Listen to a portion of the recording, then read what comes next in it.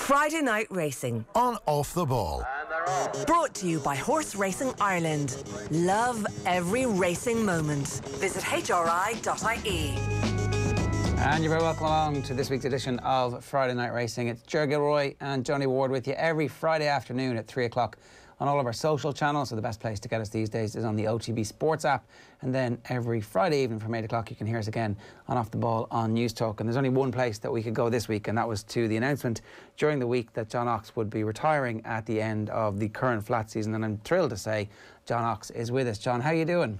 Very well, thanks, Joe. Very well, thank you. Was there um, an emotional element to making this decision? Was it fairly clear cut from a while back? How did you come to decide that this would be your final season as a trainer? Well, I suppose we've been thinking about it for a few years, and um, it was an easy enough decision to make. You know, we didn't have a we didn't have a very viable business at the moment. Not enough horses, I suppose, anymore, and um, uh, it was time to. Uh, uh, get sense. I'm old enough now to have sense, and uh, time to get sense and and uh, uh stop. And uh, well, I suppose it is a little emotional, of course. Um, you always know the day will come, but um, when it does, I suppose yeah, there's a bit of emotion to it. But you know, you just I I never you know, dwell too much on these things, and I never you know I never think about the past. Uh, you concentrate in the future and what what you have to do tomorrow and next week and next month. So it's it's actually a busy time for us now. Just uh, you know uh, closing down the business and dealing with all the things that have to be done, and then we move forward and uh, look to the future and. Uh, uh, look after ourselves. I always feel like racing isn't something really that you can retire from, in that it has such a, a way of life as opposed to a, a, job. It's definitely, as we all know, it's it's not nine to five. It's not it's not really a job that you go to. It's a it's a lifestyle that consumes you. So, have you thought about what comes next and, and what you'll do next year when the the two year olds are out in the fields and you're like, oh. Uh, no, not really. No, I haven't thought too much about it yet. Uh, we, we've, as I say, uh, we're occupying ourselves now with uh, the work at hand at the moment. But um, so I'm sure we'll take it easy for a little while and uh, and then uh, see what emerges. Uh, you know, I've got a biggish property here that uh, hopefully will have a tenant in it, and so there'll be a bit of work for us to uh, look after that and uh, everything that that entails. So, and we'll see what comes along. You know, I'm sure I'll be, I'm sure I'll be busy enough, uh, as you say. Uh, you know, working in our line of business, you, yeah, you don't really retire from it. You might retire from one aspect of it, but uh, some other aspect uh, you you can you can have some useful work to do in, and um, so I'm sure, yeah, I'm sure I'll be I'll be tipping along, as they say, and uh, I certainly won't be I won't be. Uh, uh, twiddling my thumbs looking for something to do. No doubt, no doubt. Before we, we actually look back at, at some of the highlights and and um, and a little bit of the, the backstory to it, uh, one last question about the, the current situation we find ourselves in. Was, was COVID and everything that goes with it an accelerant in terms of making the decision in the end? No, no, absolutely nothing uh, to do with it. No, COVID is. I mean, we've been very lucky in this industry that we've been able to keep going. Racing has was able to resume re- at a reasonable time and uh, racing has uh, been allowed to carry on because it's it's just so well run and so well managed. It's it's sort of a uh, you know uh, an example of what can be done uh, when you put your mind to it. And the protocols were were quite strict and stringent and were generally very very well adhered to by the participants. So uh, we were able to show that race meetings uh, could could be run safely and will continue to be run safely. And we were lucky that we were in an industry that could comply with all the regulations, and uh, and uh, you know everybody I think had a, a fair shot at at maintaining their business and uh, having as best we could a fairly normal fairly normal year. Yeah, no, no doubt. Well, look, let's start at the start. When was the decision in your head very clear that you wanted to be a trainer? Very early on in my life. my, my father was a trainer, very successful, and uh, uh, he. Uh, uh, yeah, he, I mean, I think in those days, of course, it was very much a thing that uh, maybe children went into their parents' profession, but not so much these days. But Uh, but he, yeah, he, he, he, he, my parents thought I might uh, grow up and be a trainer, and uh, uh, they suggested I go to veterinary college first and, you know, learn, learn, learn a bit more. And uh, so I followed their advice all along. They didn't have to push me. I was, I was keen to do it. You know, I read all the books. My father was a great reader. Uh, he had all the books from around the world, all the racing and breeding books. So I started reading them at an early age, and that's that's what gives you the sort of inspiration to do it when you when you get a feel for the whole whole thing. And um, so I was. Uh, I was hooked on it from an early age. It, it, always feels when it's handed down like that that there has to be an element of vocation in it as well. Because if, if you don't truly love it, it'll feel like it's been imposed on you. That the decision was almost made for you in a way that you were fated to it. That there was no free will involved. But actually, if you love it and there is a vocation for it, then it's one of the best things to have the layering on of a generation of knowledge beforehand to lean back on. Yeah, no, I think what you said there is very true. Uh, if you if, if if you were sort of felt forced into training racehorses, now you get pretty resentful pretty quick because it's uh, it's uh, it's a tough old game, you know, and uh, it's uh, you get you know whether even when you're doing well or appear to be doing well, you'll get plenty of knocks all the time, and uh, if you weren't, yes, as you say, if you weren't, uh, if you didn't look on it as your vocation, if you weren't in love with it, you'd you'd get sick of it pretty pretty quickly because trainers have to be very determined. You know, it's that you just you just have to be prepared to stick at it and you know dust yourself down. I used to always look at my father. He'd come back from the races maybe on a Saturday and he'd have had a bad day. Things wouldn't have gone just quite well for him. The first thing he'd do when he'd come back into the house, he'd get out the racing calendar and he'd start looking ahead to, you know, he'd have something that would have run disappointingly and he'd start planning the next race before he'd sit down to eat something in the evening you know, he'd have got it out of his system by planning ahead and thinking ahead and not dwelling on it for too long. He might have been a bit annoyed for a while, which he, which he usually was, but but he'd get over it by looking ahead and, and just the determination to crack on regardless and not let things get you down. You know, that's all trainers need that. They do because dealing with defeat, you know, we talk about this so much that if you've got a, a good strike rate of 10%, it's like, well, that's good. If you've got a better strike rate than that, it's absolutely amazing. But loads of trainers have lower than that strike rate and, and get by. And you, do, you just have to somewhere find an accommodation that more often than not you're going to be defeated.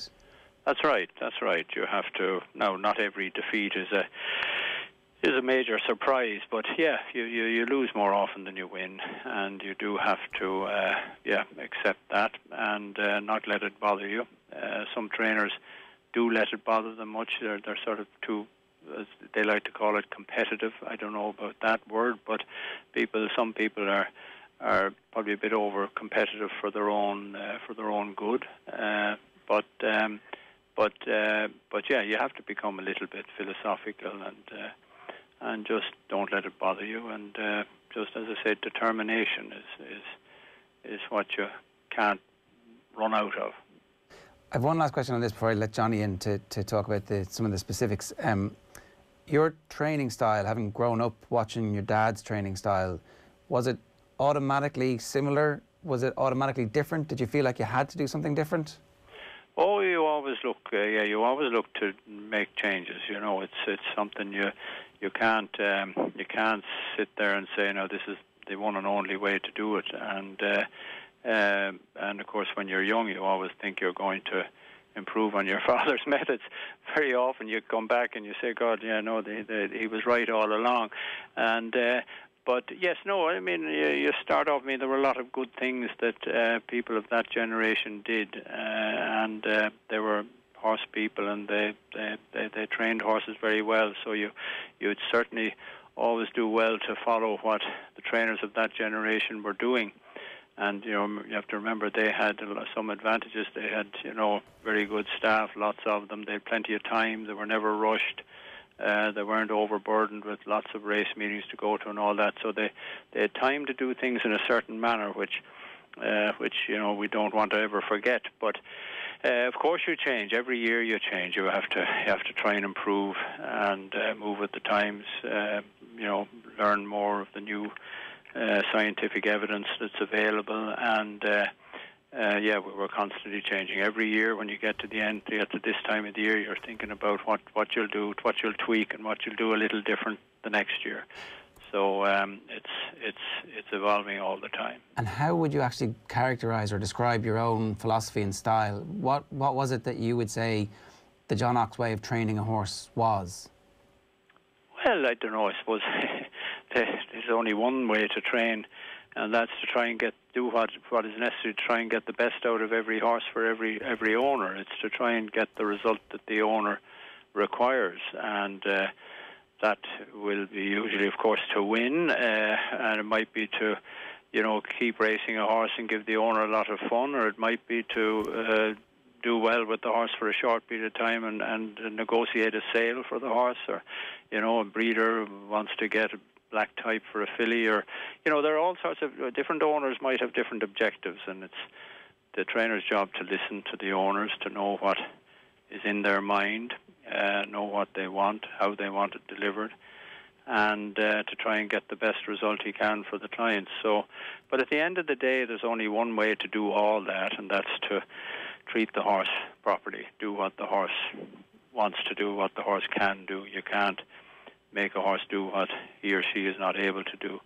So at the end of the day, you've just got to do what's right by the horse, and that's what will work out for the owner. And uh, it does require time and patience more often than people uh, realize. And, uh, uh, you know, you have to have the owner on side to uh, realize that the horse may need time and patience. And I was always very lucky that I had owners who who were, you know, in the same in the same uh, mindset as I was.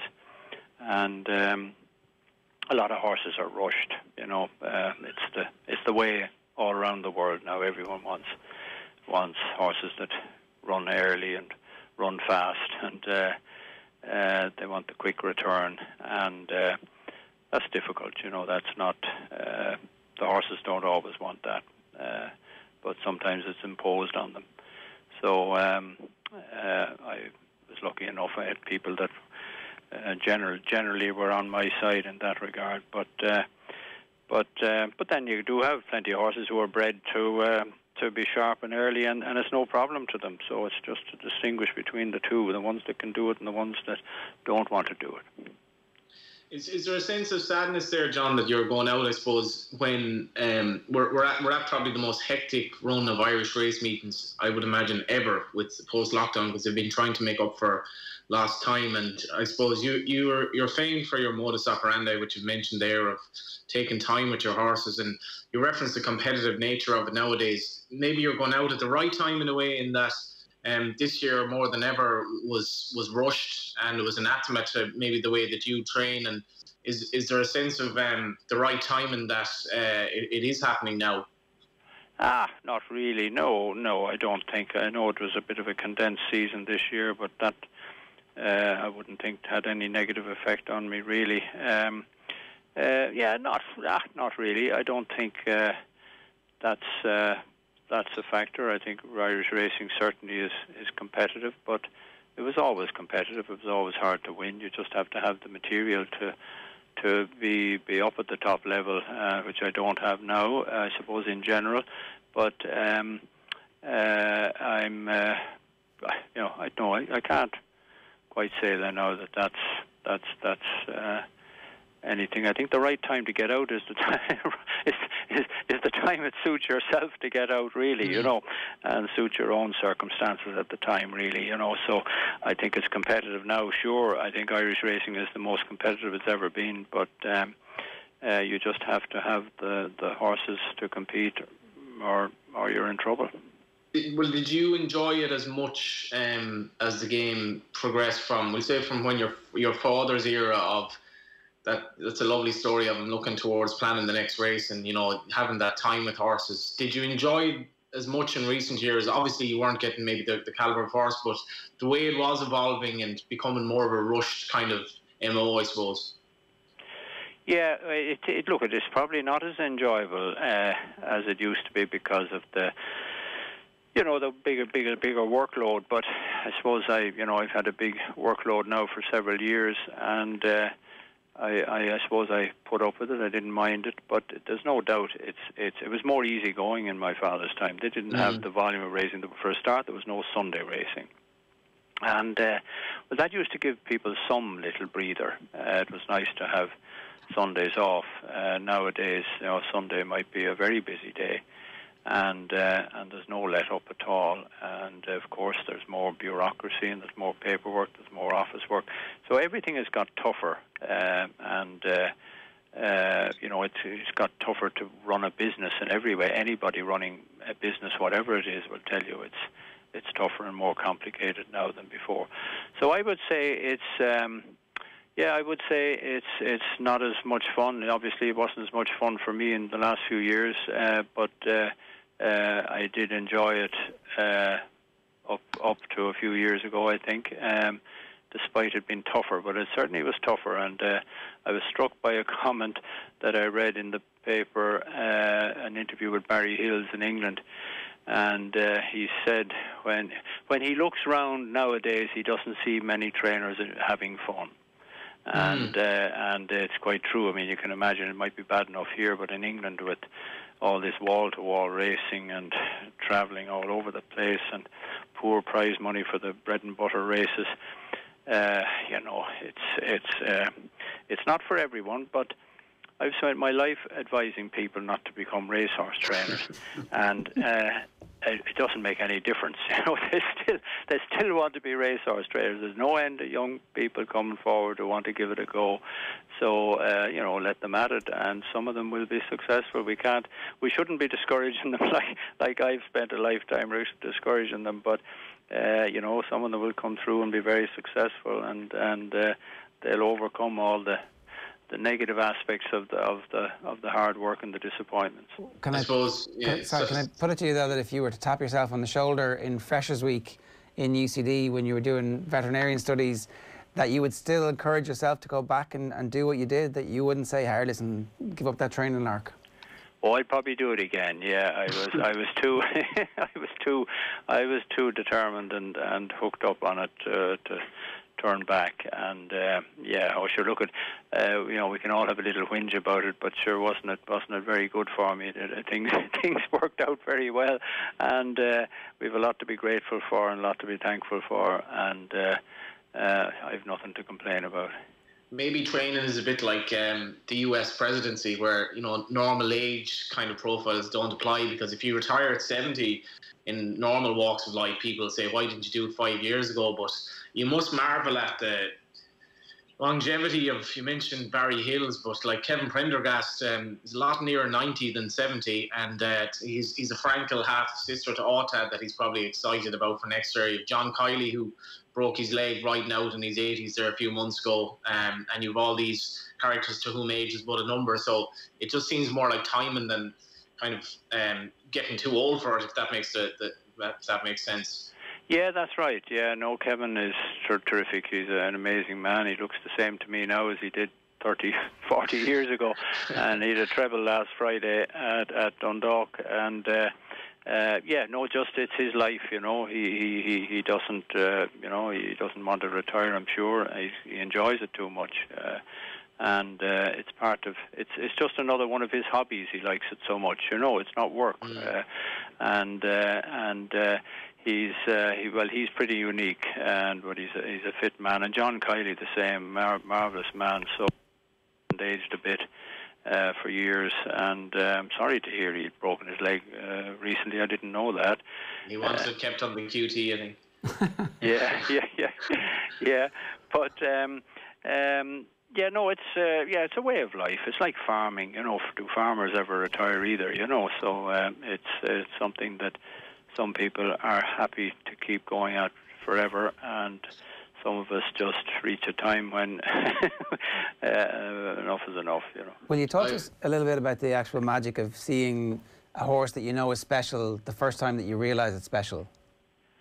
Uh, well, that's what you're always looking for, of course. Is you know that's what keeps people going. You know, uh, the morning work and uh, spotting something that just might be might be exciting for the future. So, yeah, that's that's that's that's what keeps keeps trainers getting up in the morning, and uh, that's a.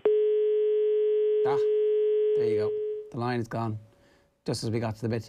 Johnny, if there's anybody out there who is, and we've got a lot of um, people who are just getting into racing who are watching and uh, listening to this every week, just explain how amazing a career John Oxx has had for us, will you?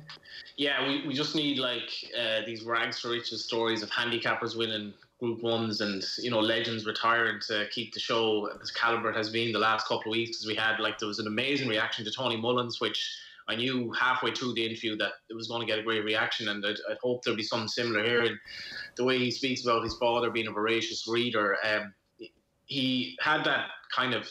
John has that kind of um, bit of an, a, a, librarian about him as well, or, or even a doctor. He has this just very, very nice kind of manner about him. Somebody who, who will always be teaching you something. And uh, he's just been a fixture in Irish racing for, for so many decades now, from from Sinndar to Sea The Stars, Ridgewood Pearl, um, and I think his his his modus operandi is probably just not really the way that training is nowadays. Owners don't necessarily afford you that time.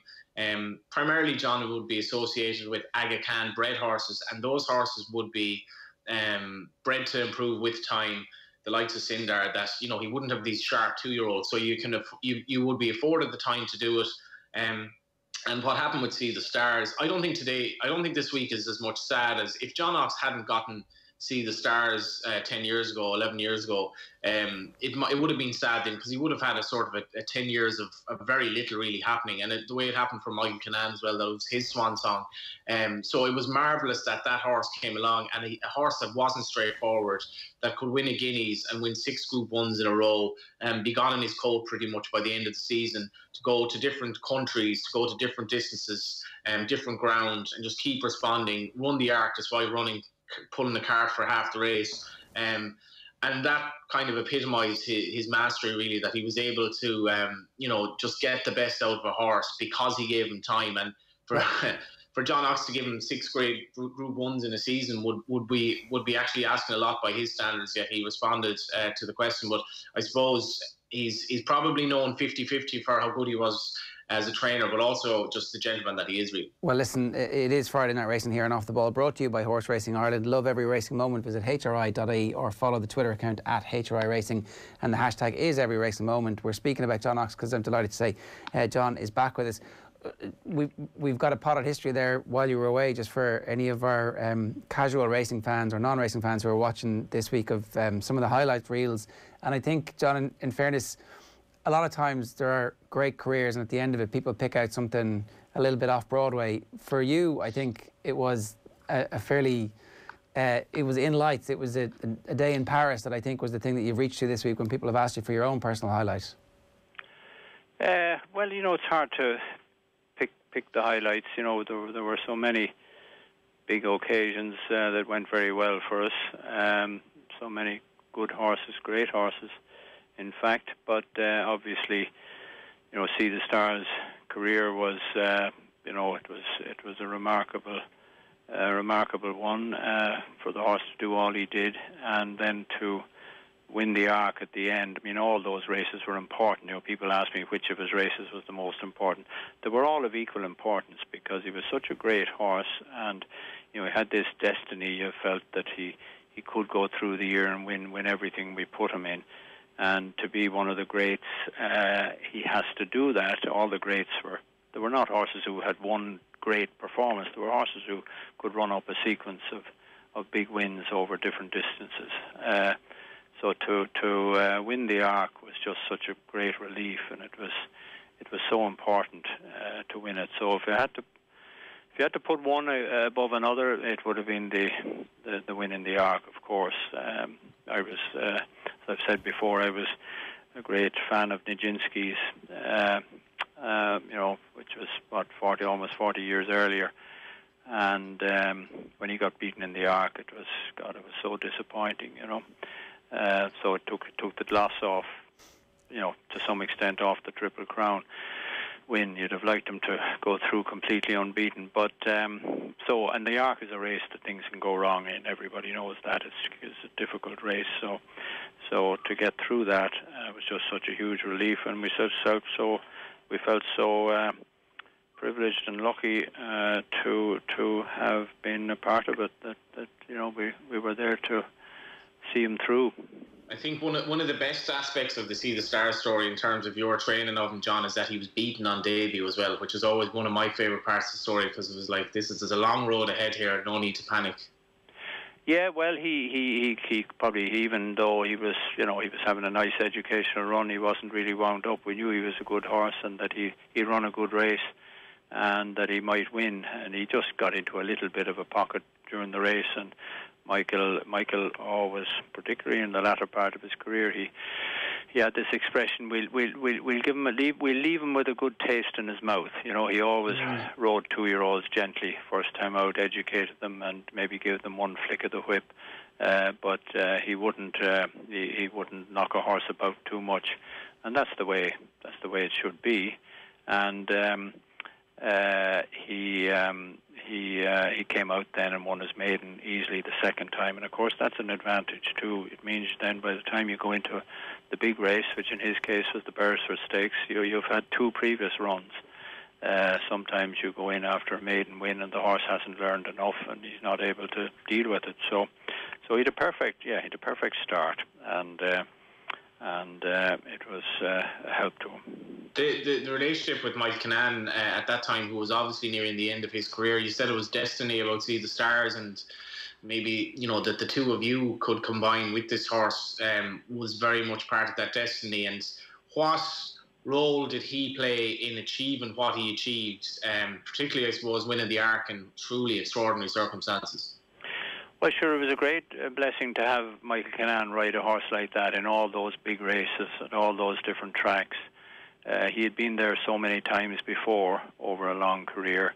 Uh, he knew, you know, he knew every blade of grass on these tracks, and he, he knew, you know, he, he knew what was ahead, and he wasn't overawed by any occasion. I'm sure any jockey would get a little nervous before riding a horse in a big race like that, but you wouldn't, you wouldn't know it with Michael. He had of course, he had great confidence in the horse, and uh, he had, you know, he had the nerves of steel for for the big occasion, and uh, uh, you know, he, he he knew what to do and he knew what to expect, and uh, could deal with any. I mean, the, the ride in the arc was no, that was that was a, a great one because um, you know the horse took off a bit or was a bit keen for he went for, early on. He went from having a good position to having a, a moderate position, maybe. Uh, uh, but uh, he, he knew he could do that. He had to get the horse anchored and get him back behind a few more, and uh, uh, he uh, he was still close enough all the way. According to Michael, he was never too worried,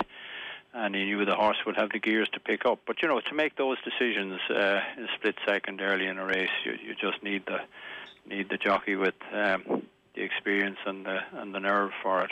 You, I always think if you sorry, Joe, I always think if you if you put a heart rate monitor on a on a punter during a race, it would tell you whether he or she is going to be a successful gambler or not. But what were you like in that race? Were you uh, was your heart absolutely pounding, uh, turning to the straight, or were you as chilled out as you seem to be every other day of the week? Ah, uh, well, you you might be you might be you might be chilled out on the outside, but you're not always you're not always as chilled out. No, but you're always anxious uh, before a race. Uh, you know, a big race like that, you have to be anxious. You get, you know, I know you go into it with a sort of philosophical uh, mindset that well, whatever happens, happens. There's nothing you can do about it anymore. But uh, I was a little anxious there, I must say, uh, a little anxious early on when I saw him pulling. But then when I saw him getting him back and getting him settled, I was never too worried. Uh, I was anxious just when he straightened up. There's a point you can see it uh, when they straighten up uh, at the top of the straight, and he makes a move around a horse called Getaway. Uh, and when he got around him, I was happy uh, because if he hadn't got around that first horse, you know, it would have been, you know, he would have been in a bit of a spot. He would have, he wouldn't have been able to get going as early. Now he probably still could have come around the whole field and won easily anyway. But, but I was anxious until he got past him, and and uh, Peslier was on getaway and they were going for the same gap and, and Mick says he, he, he looped him. You know, he went he, he was behind him but he, they were both going for the same gap but he just went around him and got there first. And Peslier told him afterwards, he said yeah, he'd never been passed by a horse going so fast in his life. Mm. And uh, when he got through that, uh, I knew then he'd, he'd, he'd weave his way through the rest of them.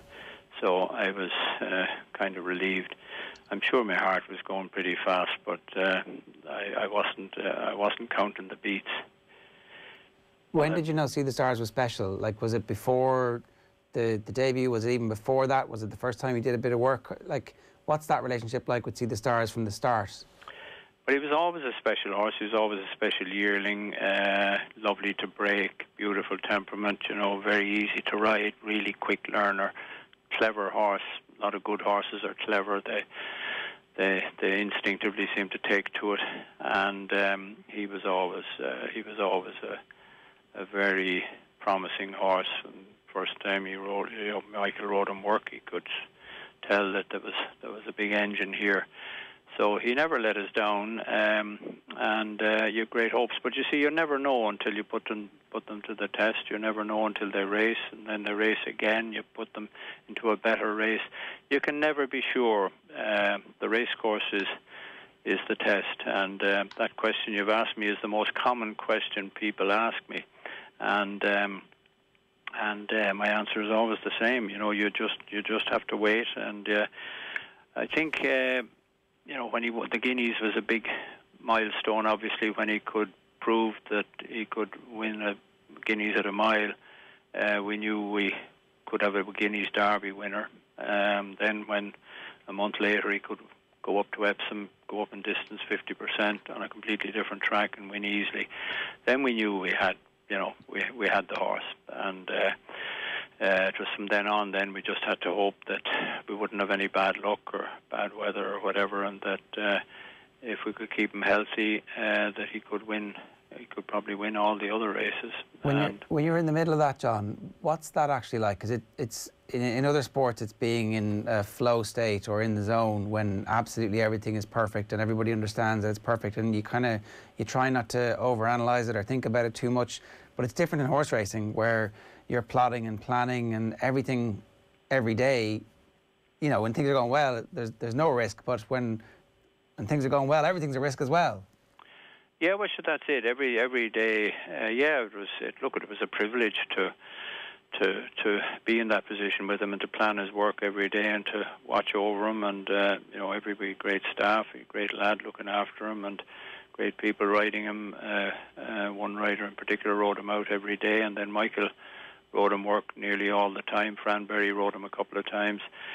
Uh, but um, you know everybody was there for the horse, and uh, yeah, you had to you know you thought long and hard about everything he was doing, uh, but he had his routine, and. Uh, um, it was a privilege actually to. I know it's, it was nerve wracking, you know, particularly at the end, uh, coming up to the arc. You know, you just wanted nothing to go wrong, and I was probably uh, more anxious than I normally would be. Yeah. But uh, you, you you certainly would because you know look at anything could happen. He could stand on a stone. He could have a bruise. He could have, you know, could could could do anything. Uh, with horses, you never you never know. Uh, could get a temperature or something, you know. So, which he did on St Patrick's Day, actually, not long before the Guineas. Uh, he got a, quite a high temperature. I nearly died when I got the news. But you know, so all these things can crop up and uh, it's it, it is it is anxious. Uh, it is anxious, uh, an anxious time. But it was also a privilege to be able to watch him every day, to plan his work, and just just watch him. He was such a beautiful animal and such a beautiful athlete, and such perfection. You know, it was uh, that was the most pleasurable pleasurable part for me was just training him and just being in his presence and just watching him. Um, great privilege just to be there in the jeep, just walk driving along beside him as he walked along, and that was that was the real pleasure. The race days and the wins were, were a relief. Uh, not not a pleasure, if you like. Yeah. It's a pleasure to look back and to. I was going to say, it, it seems almost like now it's more enjoyable than at the time because there is the constant pressure. We have something unbelievably special. We've worked so hard to get to this point. We just need to go and deliver it now. But that stress, as opposed to now, it's like, look what we did. Look at that amazing thing that we did. Oh, there's no doubt it was stressful. All right, uh, uh, I suppose a stress that you you are quite uh, like you're quite like to have and might, might like to have more often. But but of course uh, you couldn't have a second horse like like him, I suppose. But but yeah, it was stressful. Um, but um, weren't we lucky to have that stress? And uh, certainly yes, when you when you went past the post in the arc, you just say to yourself, "My goodness." imagine that, you know, imagine having a horse like that that can win all those races, and where we got there without uh, some setback to derail the whole thing. Weren't we very lucky? You know, you just feel so grateful when uh, when when he goes past the post in the arc. It's just it was a feeling that uh, you know you you you might you would you would think you would never have. This might be a silly question, but it, it, you know, at that stage of your career, you were also very mature and worldly. You'd seen so much, you'd been around the world, you'd had so much experience that maybe if it had come a little earlier in your career, you might not have been as ready for it.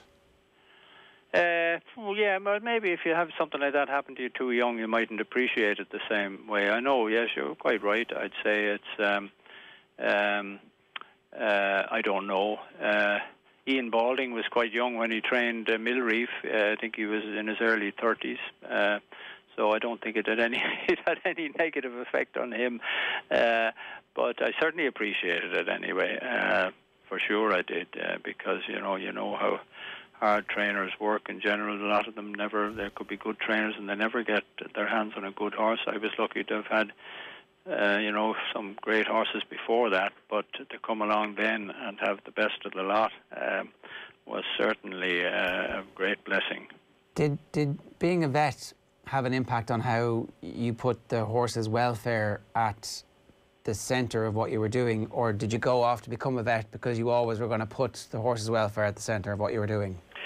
Uh, well, it just uh, I don't think it, it had any direct effect uh, later on on what I was doing.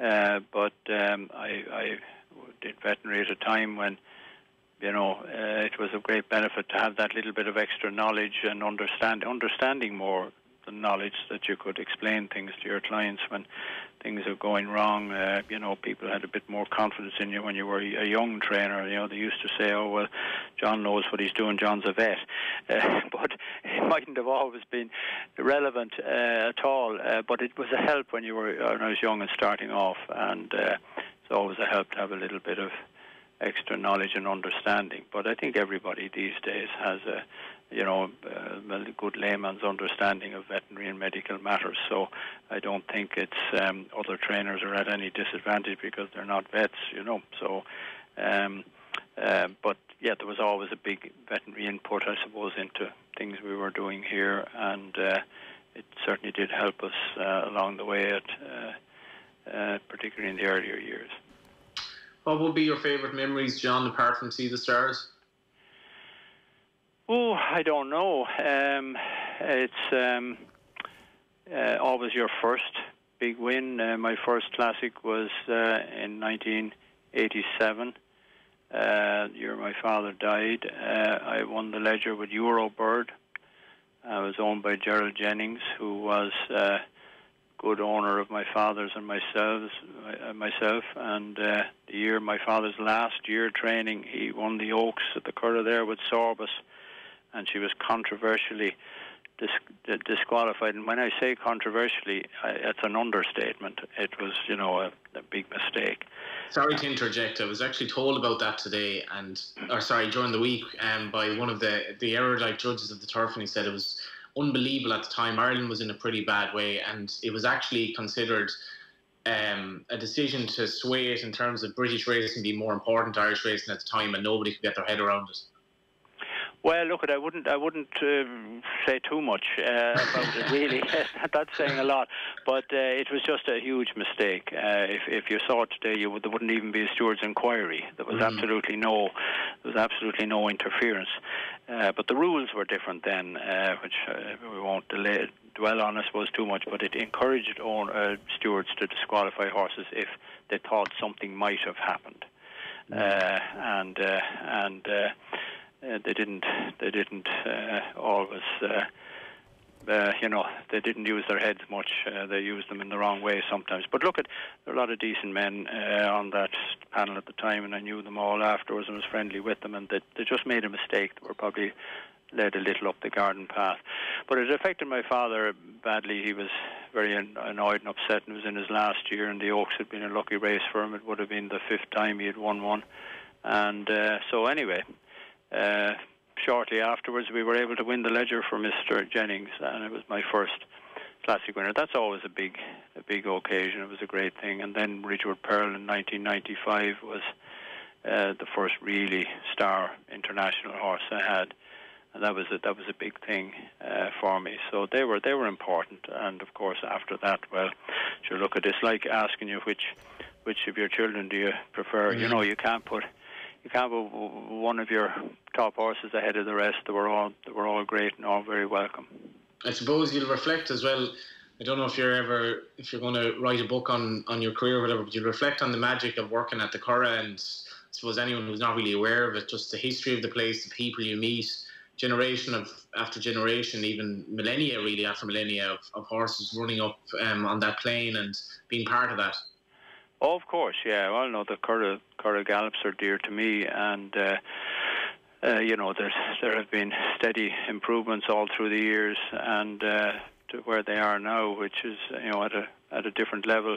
When I think back to what my father and his generation had, had here available, they always had the great gal- grass gallops, all right, but they didn't have the all-weather facilities and the winter facilities that we have now. So yeah, no, it's it's a great pleasure. You know, if it's a fine day in particular, and you're and uh, you're out on, on the, in the morning. Does make a difference when your horses are good and when they're just worked well. You know, yeah. if you've had something that's disappointed you, you know the the nice scenery and out in the fresh air, you know, don't seem to think too much about yeah. that.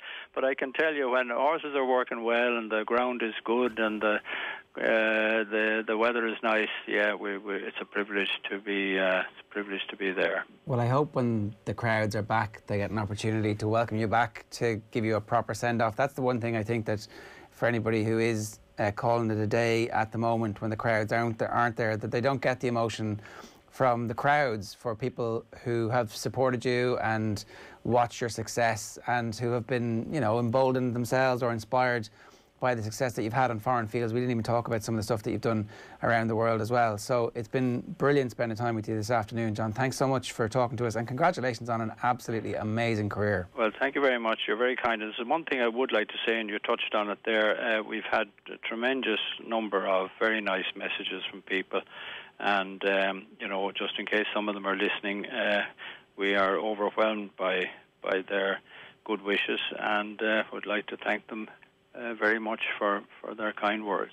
Well, listen, congratulations again, and thanks a million for talking to us today. Very good. Thank you very much. That's uh, the legend that is John Oxx, who has called time on. Um, it is a legendary career, Johnny. You know, when we were doing the Kildare, Mount Rushmore, um, Willie McCreery was definitely stumping for John Oxx, and just the level of achievement of that one season of absolute greatness. Like, there's a few similar levels of greatness. Maybe there was a short period of time where Rory McIlroy was at that level, but like um, what Sea The Stars did that year in all sports is not really comparable. I, I don't know that many other Irish people have ever reached that level of greatness. No, no, he, he may have been may have been you know the best. Uh, some people would still say he's better than Frankel. Um, they we never know, but uh, we we memorably had Mike Kinane on, and he, he wasn't even uh, thinking about it. It was like definitely Sea The Stars, but um, you know you can you can get these high achievers in life that um, you could take or leave in terms of having a drink with or a coffee with or even a conversation with and you admire their success but um, you wouldn't get too you know worked up about it. But um, John Oxx absolutely screams class as an individual you know his message during the week um, in terms of his retirement instead of you know delving into a load of self platitudes about the horses he trained and all his achievements, uh, he actually referenced the fact that he just was worried that his uh, workers wouldn't get new employment. And I, I, thought that was an absolute measure of the man. Johnny Murtagh said they never had a bad word in all those years. I believe that in a heartbeat. As a journalist, when I rang him, sometimes you'd ring trainers or jockeys and you'd be kind of, you'd be slightly putting uh, your, your, your head in your hands, just hoping that they wouldn't be in bad form. It was never a question with him and being able to talked to him that year Sea The Stars I mean, kind of following the progress from the Guineas to the Derby to the Eclipse right up the way to the Arc and you know the pleasure that he was deriving of that. But it was the same as if you were ringing him about a 0 to 60 in Dundalk tonight um, because he was just measured, calm, relaxed, and you know the he I thought some of the things he said there, just in terms of trainers, that uh, you know, is it as enjoyable now, but also the fact that they get so up and down after a result, and it was a, it was a lovely thought of you know when you have a bad day, look to the future because there you know there's always another day coming, hopefully, and you know there, there is a chance to right or wrong. And um, anyone who would say a bad word about John Oxx. Um, you just wouldn't have any interest talking to them, and I, I'd love if he wrote a book maybe on his career, but also I'd love if he um, were used in some sort of uh, media context as well, because I could listen to the man all day. Now, let's move on. Thunder Moon finished third in the Dewhurst at Newmarket, adding some prize money to the total Irish Injured Jockeys Fund, which grows to 2,310 euros. This week we have another 100 euro tote bet for the Irish Injured Jockeys. It's a reminder that the tote.ie customers can get the tote guarantee, tote versus SP on all Irish and UK racing. Check out tote.ie for more. What have we yeah. got? Cracking, cracking racing tomorrow, obviously in Ascot. Um, uh, we don't have time maybe to go through it. I, am staying closer to home. Thunder Moon, I definitely advise backing him for the Guineas next year. He was bogged down a bit on the ground as we kind of half thought he would, but he ran a blinder. Um, tomorrow I'm going with Grimstar in the 205 at Ballinrobe. Um, trained by Sam Curling, very good trainer. I couldn't find anything to beat this horse. I did the spotlight for the racing post, and I just think he'll win. All right, Grimstar, Ballinrobe, each way mm. or on the nose? On the nose, sure. Yeah, none of that nonsense. Um, you know, let's let's let's get a good let's get a good winner for the for the toes and uh, enjoy the, the the magical racing really and magical herself at, at Ascot tomorrow and uh, yeah, start life uh, post John Oxx's retirement, I guess.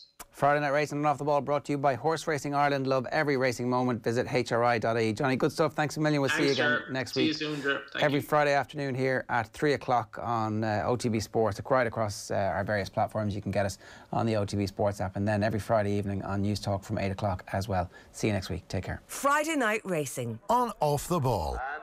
Brought to you by Horse Racing Ireland. Love every racing moment. Visit hri.ie.